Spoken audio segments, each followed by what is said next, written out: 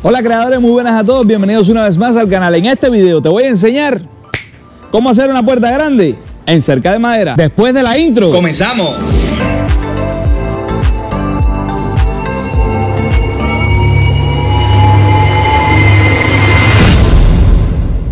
Para poder hacer una puerta grande en una cerca de madera, lo primero que vamos a necesitar es la cerca, porque no hay cerca. Así que eso es lo que me vas a ver haciendo justo ahora mismo.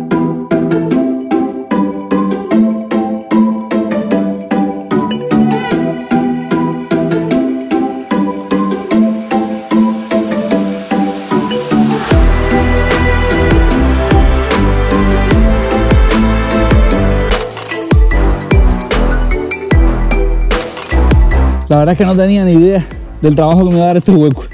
El problema es que este piso tiene como unas 4 pulgadas de piedra porque está preparado para echar el, el, por donde caminan los carros aquí. Esa piedra estaba muy dura. Me costó mucho trabajo hacerlo.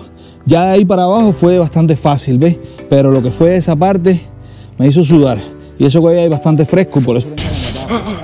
Ya tengo listos dos de los huecos que voy a estar necesitando, pero en realidad son tres. Le estoy dando unas 24 pulgadas de profundidad, que eso van a ser dos pies, pero me falta otro, que va a ser el tercero, y lo voy a hacer en esta parte. Aquí tengo la marca para que venga con la línea de la cerca. Pero eso lo voy a hacer ahora porque quiero terminar, porque mañana voy a empezar a instalar los postes. Al día siguiente.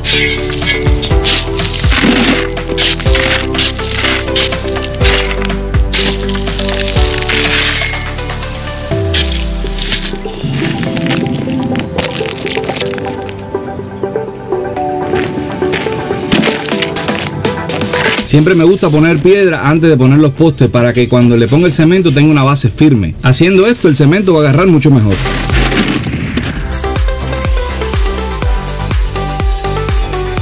Agarré algunos pedazos de 2x4 que tenía por ahí para hacer unas estacas. Usé 2x4 porque tenían que ser unas estacas bien fuertes, ya que lo iba a estar clavando encima de la piedra.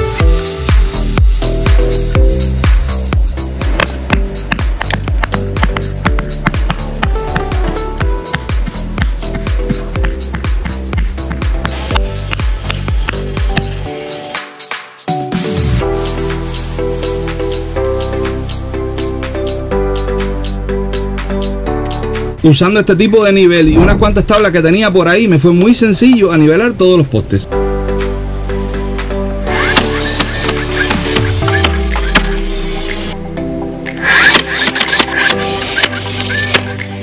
Ya terminé de nivelar los tres postes que van a conformar que es la cerca para instalar la puerta grande. La puerta grande va a ir aquí entre estos dos postes que son más grandes y entonces este otro eh, pues de 4x4 y estos son de 6x6. Si eres una persona que como yo casi siempre trabajo solo, te voy a recomendar algo. Este nivel lo encontré en la tienda de Low y son súper buenos porque es, que es muy práctico. Él viene como un tipo una escuadra aquí, se fija acá con una liga y ya va a tener el nivel lo mismo aquí que acá. Después que tengo los tres postes nivelados, solo lo único que me queda es echar el cemento para después seguir con la cerca. Pero, o sea, la instalación de la cerca la voy a hacer mañana cuando esté seco el cemento. Pero ahora que se me está yendo el sol, mira, voy a ver si me da tiempo a poner el cemento.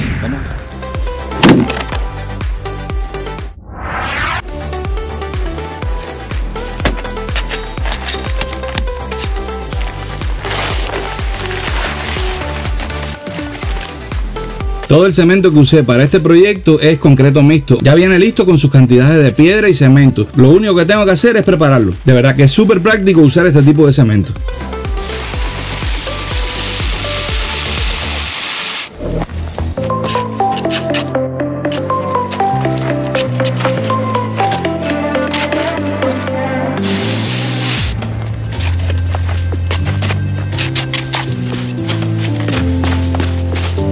Antes de continuar con el video, me gustaría pedirte algo. Si te está gustando el video, te agradecería que me regalaras un buen like, eso ayuda mucho a crecer aquí en YouTube. Y si todavía no lo has hecho, considera suscribirte a mi canal para que no te pierdas nada del contenido que estoy subiendo a YouTube.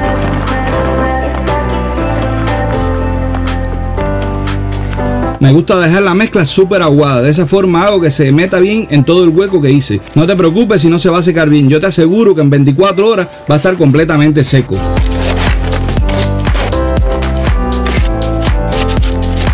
Ya yo sabía que dos sacos era más que suficiente para este tipo de, de madera, porque si tú no lo has visto todavía, tengo un videazo en el canal que es instalando una cerca o cómo hacer una cerca desde cero y te lo voy a dejar por aquí arriba. Si no lo has visto, termina de ver este video y después te vas a ver ese otro. Pero yo sabía que en esta parte se iban a llevar dos sacos. Y, y mira que sí lo sabía. Se lo trago completo. Dos sacos más. Nada más que nos falta un solo hoyo. Y ese va a llevarse un saco. Me dio tiempo a ponerle el cemento a los tres postes. Mira, te los voy a mostrar. Ahora solamente tengo que esperar 24 horas para que el cemento esté completamente seco. Después de eso voy a empezar a instalar la cerca. El día de hoy ya se acabó. Menos mal que me cansó un poquitico el sol para poder terminar de instalar los tres postes. Pero tú no te vayas porque falta más del vídeo. Siguiente día, ya pasaron 24 horas. A mí me encanta cuando el tiempo pasa así de rápido como ahora. Déjame decirte que he hecho hasta ahora. Quité los soportes que tenía aquí en las columnas porque ya el cemento se secó completo. Entonces no necesita ya los soportes. Esos soportes solamente era para cogerle el nivel y que los postes duraran de un día para otro. Ya los quité y, lo, retiré todas esas tablas. Entonces ahora lo que estoy haciendo es con este cordón que tengo aquí, voy a traer la línea que trae la misma cerca para que todo me quede bien parejo. ¿Ves? Entonces mira, el cordón lo tengo allá que saqué el nivel justo de aquella madera que se ve allá. Tengo un nivel puesto y ahí está nivel. O sea, iría, ahí iría la primera madera de abajo. Y así lo voy a hacer con las otras dos maderas para que todo me quede a nivel. Algo que también hice fue armar todo este muñeco aquí ahora para empezar a armar este rompecabezas justo ahora mismo. Vamos a darle.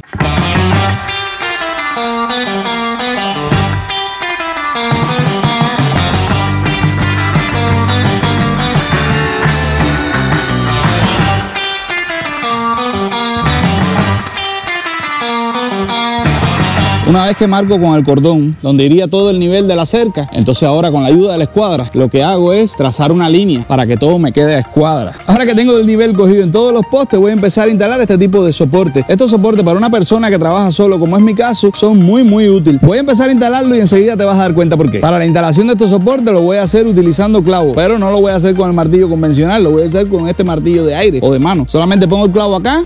Eso va a ser muy rápido.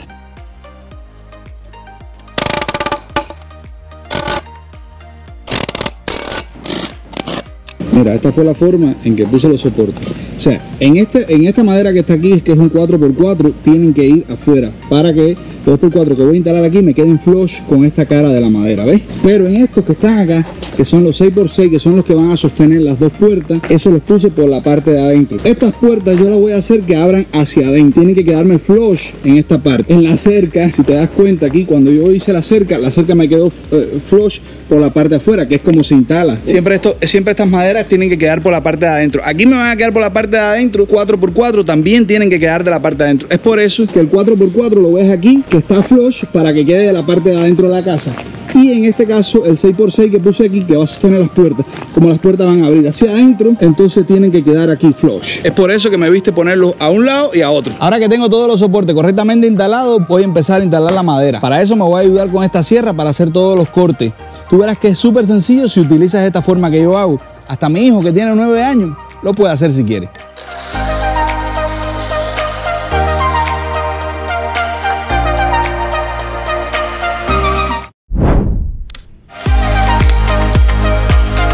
Bien hecho, papi. Gracias. Como te decía, hasta mi hijo con 9 años lo puede hacer si lo hace de esa forma.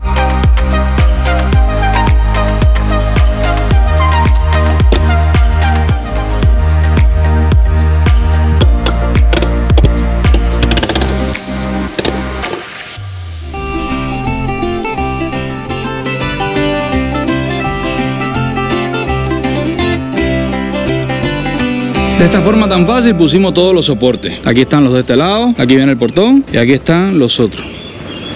¿Estarán a nivel? No sé, podemos chequearlo. Nivel. Ahí.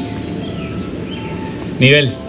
Seguimos. Antes que me vayas a regañar por esto que pasó aquí, aquí hasta ahí llega la madera de la casa.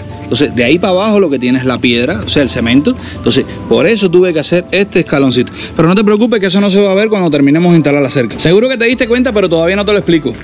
La forma por que yo uso estos soportes es porque puedo instalar primero los soportes como hice y después corto toda la madera. Y ahora es que vengo a fijar la madera. Ve, la madera en este momento se, se encuentra suelta. Ahí está suelto. Entonces ahora lo que voy a hacer es que voy a, clavar todo y entonces ya sí puedo seguir entonces con la instalación de la cerca.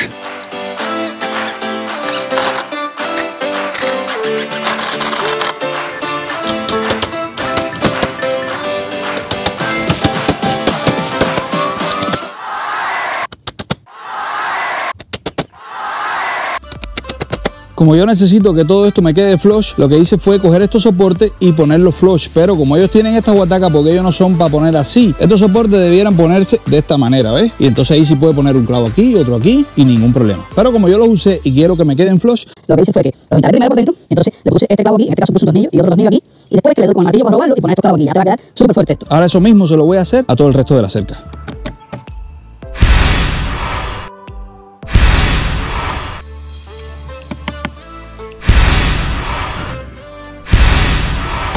Todos esos clavos me hicieron sudar un poco, pero la verdad que fue muy sencillo. Al día siguiente. Ayer me sentía súper cansado y me fui a dormir. No, mentira, me cayó un palo de agua.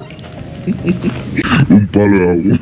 Mira, te voy a decir cómo voy hoy. Aquel poste, como me quedaba pegado a la cerca, lo, sí lo dejé eh, a nivel. Desde que lo puse, lo fijé bien abajo. O sea, le, di el nivel abajo con la parte de arriba también. Y por eso. Pero en estos era un poco más difícil hacerlo. Entonces lo que hice fue que lo dejé un poquito más largo. Al dejarlo más largo, eh, pues sí, toda la parte de arriba viene a nivel, obviamente. Pero me sobró un pedacito. Pero eso lo voy a cortar ahora mismo con la sierra.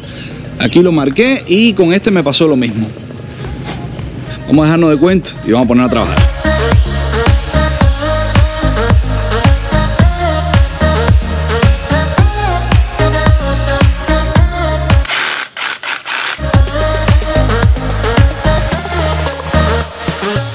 Quedó súper bien usando la combinación entre la sierra de mano y el sosó, porque como esta es una madera de 6x6, pues no había forma de que la sierra, o sea, mi sierra es de 7 pulgadas, no, va, no iba a cortarlo, ¿ves? Pues entonces con el sosó me pude ayudar y quedó muy bien.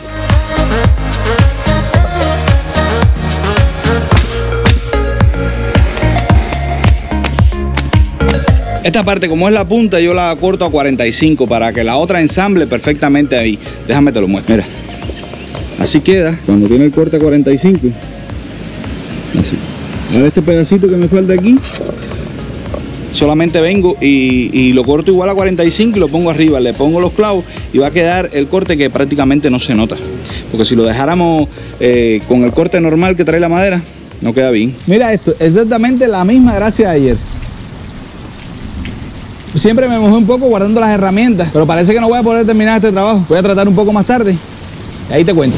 Antes de comenzar a instalar las tablas, mira, quiero enseñarte cómo quedó la unión. Si te acuerdas que te dije que iba a poner un 2x4, le hice un corte 45 aquí y entonces me iba a quedar flush. Bueno, eso fue lo que hice. Mira, la unión del 45 prácticamente ni se nota. ¿Ves? Y entonces pues el otro lo dejé flush aquí, igual que con la madera. Eso quedó muy bien. Y por acá, el otro pedazo de madera que faltaba, también. Ahora vamos a empezar a instalar la cerca. La primera de las tablas que íbamos a estar instalando necesitaba una pequeña modificación. Enseguida vas a saber por qué.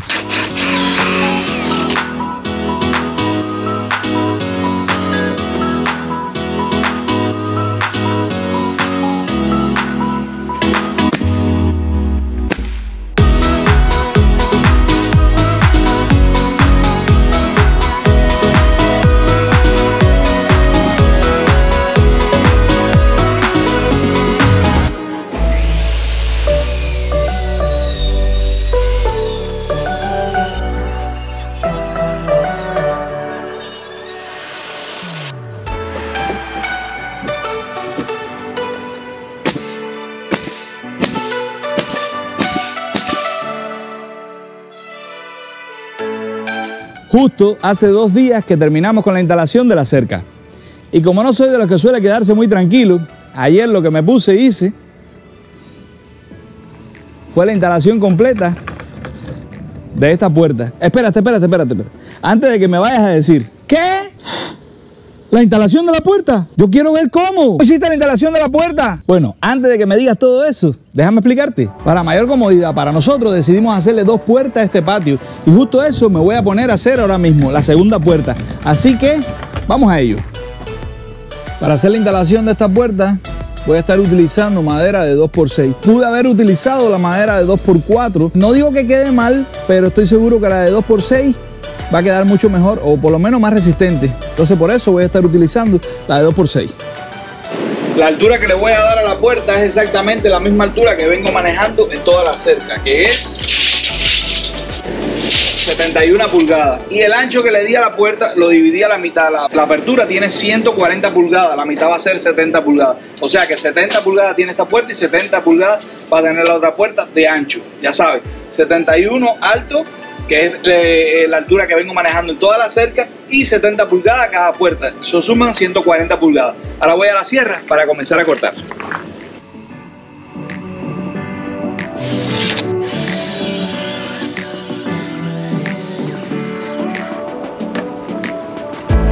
No sé por qué vamos a la tienda y terminamos comprando 2 por 6 y cuando llegamos a la casa tenemos 5 y media por 1 y media. Bueno, no es algo que nada más que me pasa a mí, eso nos pasa aquí a todos porque las maderas siempre traen media pulgada y no sé por qué, no me pregunte. Pero bueno, eso es algo que tenemos que tener muy en cuenta en este punto que vamos a hacer ahora. El tipo de uniones que vamos a estar manejando para hacer esta puerta van a ser este tipo de uniones. ¿Ves? Si la sabemos hacer muy bien, la puerta va a quedar muy sólida, muy fuerte y va a tener una escuadra perfecta. ¿Ven? Tú no te preocupes que es bien sencillo de hacer y enseguida yo te voy a explicar cómo se hace. No sé por qué estoy usando sombreros si ya no hay sol. Y el calor que da. Es por eso que tenemos que tener bien claro la medida exacta de las maderas que compramos, ya que si no, este tipo de uniones no van a quedar bien. Para hacer este tipo de uniones, lo primero que tengo que asegurarme es que la madera esté perfectamente escuadra. Y aquí tengo escuadra de la misma madera que vamos a estar trabajando, lo que hago es que me quede aquí flush, con un lápiz, trazo una línea. Así. Necesito que tenga esta medida. Como te dije anteriormente, la madera tiene uno y media, uno y media aquí el grosor, y yo necesito la mitad de eso. La mitad de eso van a ser tres cuartos de pulgada. Entonces lo voy a hacer con esta sierra de mano, y lo que necesito es que tenga tres cuartos de pulgada. Aquí tiene la profundidad completa de la sierra, pero yo no necesito esa. Necesito que tenga tres cuartos de pulgada. Aquí ella me da en la línea y la pongo a tres cuartos de pulgada y ahí la ajusto. De todas formas, ya ajusté la sierra como la medida que me trae la sierra en sí. Pero yo siempre confío más en la cinta y lo que hago es que compruebo que tenga los tres cuartos de pulgada, ya que necesito que esta medida sea bien precisa. Y ahí tiene los tres cuartos de pulgada. El primer corte que vamos a estar haciendo aquí es el más importante de todo. Para eso lo voy a hacer con esta escuadra. O sea, para que la sierra se deslice por aquí con la escuadra para que este corte me quede perfectamente escuadra, porque si lo hago con la mano, puede ser que se mueva, no va a quedar bien. Me aseguro de poner la hoja ahí, donde va, y ahora sí, aguantando bien la escuadra aquí, hago el corte.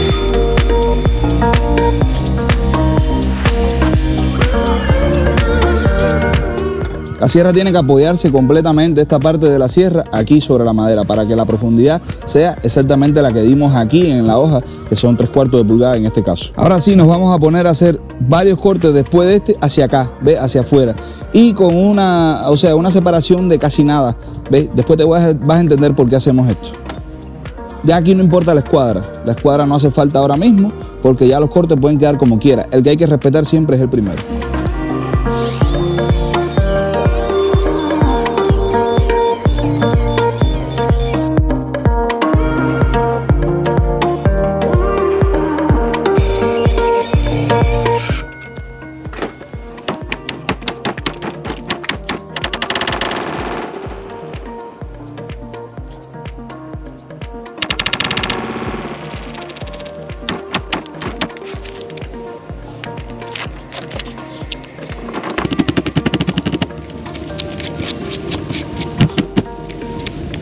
Una vez que tenemos todos los cortes hechos, con el martillo es bien fácil darle y van a salir todos, van a quedar así. La trincha que yo utilizo para este trabajo es de 2 pulgadas, o sea, una trincha bien ancha. Para la hora de comer me sirva muy bien. Esto va a ser como si fuera eh, el cepillo de madera y lo que va a hacer es que va a quedar todo muy limpio. Enseguida te lo muestro.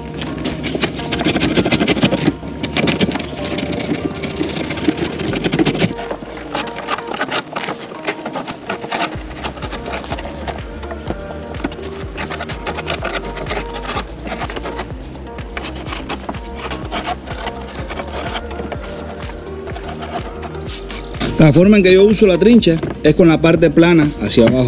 ¿Ves? Lo que no la puedo disparar. Siempre con la parte plana tratando de sacarle ¿eh? las diferencias que quedaron en la madera. No la pare porque entonces pasa esto que pasó aquí, que se encaja y saca más madera de lo que tiene que sacar. Ya terminé las cuatro maderas de la, de la puerta. Así quedaron, ¿ves? Quedaron súper parejas. Obviamente hay dos de una medida y dos de otra medida, porque una es el largo y la otra son la altura. Ahora lo que me vas a ver es ensamblando la puerta.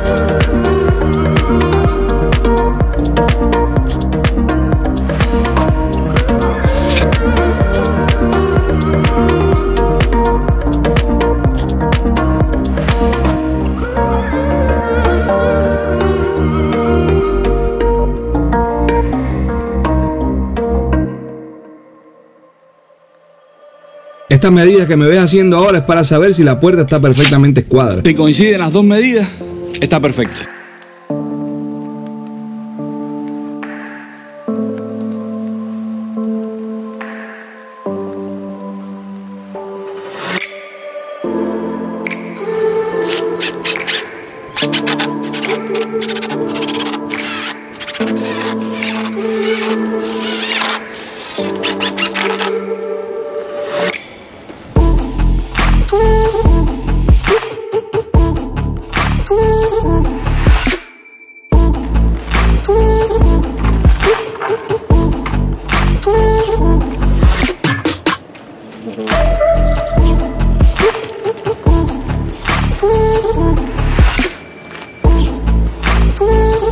Esta madera que me viste poner ahí ahora va a ser el apoyo de la puerta. O sea, evita que la puerta haga esto, ¿ves?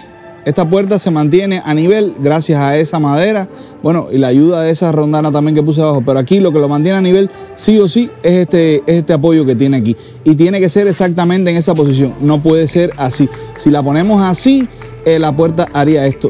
Con el tiempo se va cayendo, ¿ves? Aunque las bisagras sean muy fuertes y aunque tenga ese apoyo, la puerta se va cayendo. Esto evita que haga eso. Y eso es lo que voy a hacer ahora con esta madera. Ahora yo la puse aquí y la puse lo más al centro que pude. Bueno, de hecho está en el centro. Aquí hago una marca ahora con el lápiz y a la otra parte también hago otra marca con el lápiz y después entonces la saco y la corto con la sierra de mano. Pero tiene que ser un corte que más bien pasado la raya de, de, de la marca que hagamos. O sea, a lo que me refiero, el corte tiene que ser bien exacto para que eso entre justo ahí. Eso evitará que la puerta termine descolgándose. Esta misma marca la vamos a hacer en la otra parte.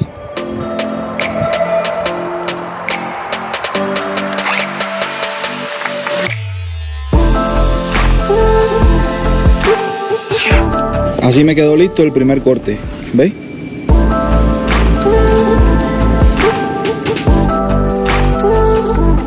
Antes de pegarla, siempre le pongo un poco de pegamento.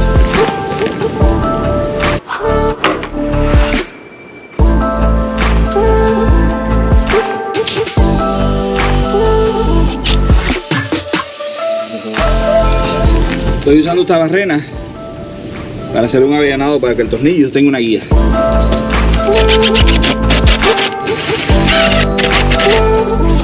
Dos pulgadas y media los tornillos. Eso va a ser más que suficiente porque la cola hace el resto.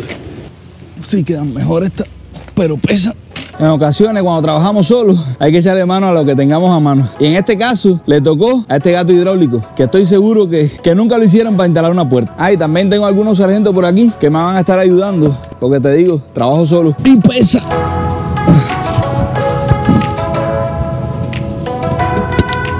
Los sargentos me van a ayudar a sostener la puerta, aunque sea por un momento, hasta que le pueda fijar las bisagras. Con una sola de las bisagras que ponga va a ser más que suficiente para que me ayude a poner la otra y poder quitar todo esto. Pero primero tengo que nivelarlo.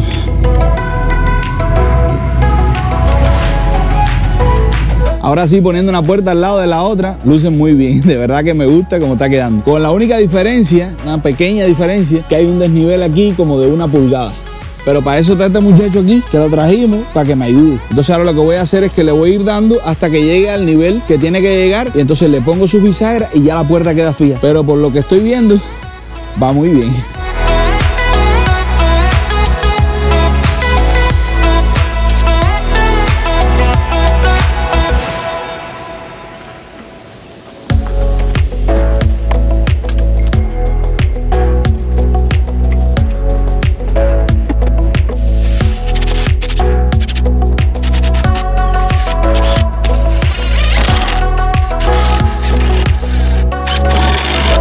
Es increíble que yo solo haya puesto esta bisagra.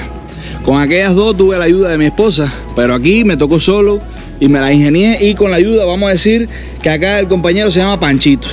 Entonces con la ayuda de Panchito pude poner la primera bisagra, ya esto ya lo que queda es nada, me falta poner la otra y casi que estamos terminando. Bueno, falta poner las tablas, pero las tablas viste que es bien rápido. Estas son las ruedas que compramos. Estas ruedas las compramos en Amazon y son muy buenas. Tienen esta, esta tuerca de aquí es para regularla, para darle más altura o menos altura y también aquí adentro tiene un muelle que sirve de amortiguador. Entonces, para pisos así como estos que están un poco desnivelados, porque esto tiene la piedra, pues la rueda sube y baja y eso funciona muy bien. Las bisagras las compré en Home Depot, compré las más grandes que habían porque sabía que iba a aguantar, eh, o sea, sabía que iba a pesar bastante. Las bisagras dice que aguantan unas 120 libras. Eso está muy bien para este tipo de puertas. Solamente me toca terminar las tablas. Las tablas las voy a instalar como mismo instalé las tablas de acá.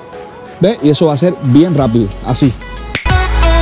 Es impresionante lo que hemos logrado hasta ahora. Ya tenemos la cerca hecha y las dos puertas listas. Pero yo te aseguro que esto se puede mejorar. Así que vamos a darle.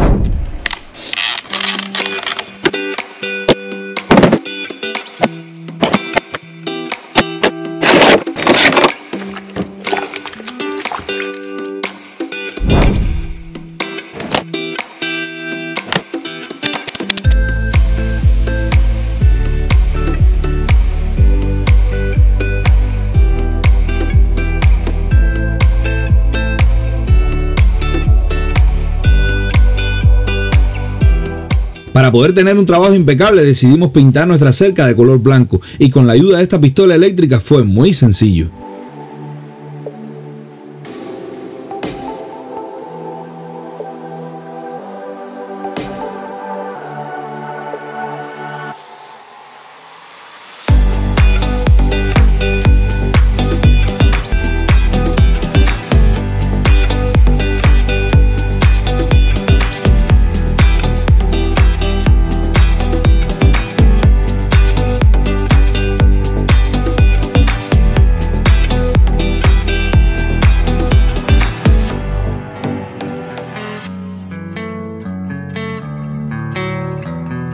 Te dije que podíamos mejorarlo y eso hicimos, pintando nuestra puerta de color blanco. También instalamos estos pestillos que van acorde con la decoración de nuestra puerta.